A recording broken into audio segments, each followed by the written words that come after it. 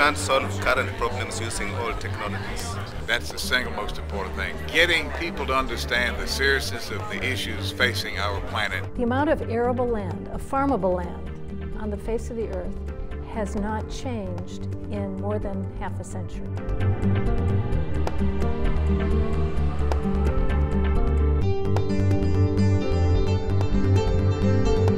biotechnology and the promise of science and a political will only to come together with a lot of good hard work to build roads and to do smart things if we're going to feed 9 billion people in not very many years from now.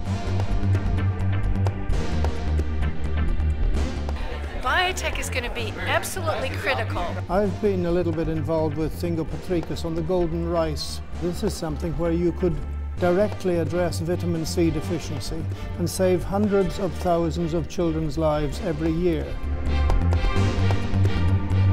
The questions we should be asking are not how are we going to feed the world, but how are we going to remove the obstacles to what we know works.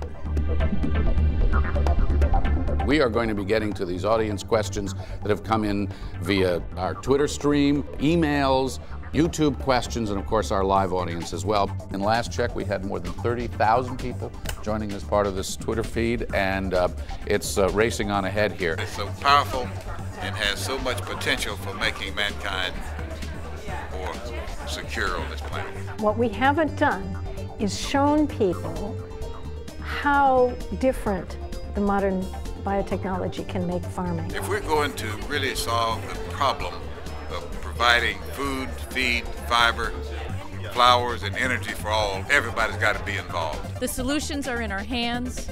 We need to use them.